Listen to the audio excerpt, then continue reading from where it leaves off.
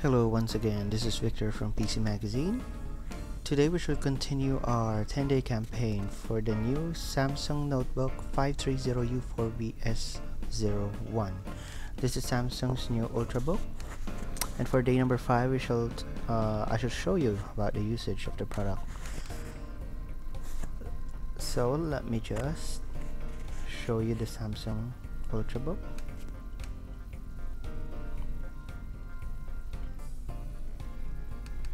So it's not really it doesn't really come in a thin profile since it has a built-in optical drive but it's still lighter than the other notebooks we've tested previously.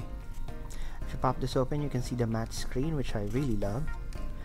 And it has a chiclet style keyboard which I would prefer compared to those keyboards that are that doesn't have spaces in between. So based on experience using this product it's very easy to use it's very the keyboard is very comfortable. The same same time the screen is bright enough uh, even when you're outside so you can you, you won't really have any problems with glare or reflections. And using the trackpad is also easy. It's quite larger I mean in some ways it's comparable to the Mac the, the MacBook Pros but it has a separate click button for the left and right uh, mouse buttons.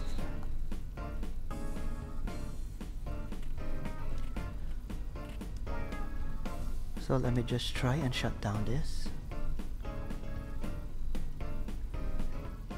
The high-end components of the Samsung Ultrabook make it uh, a very uh, good performer in terms of uh, a business laptop or a business Ultrabook. So there you have it stay tuned for day number six tomorrow. Uh, I shall, shall talk about more features about this new Samsung Ultrabook. This is Victor once again from PC Magazine. Thank you and goodbye.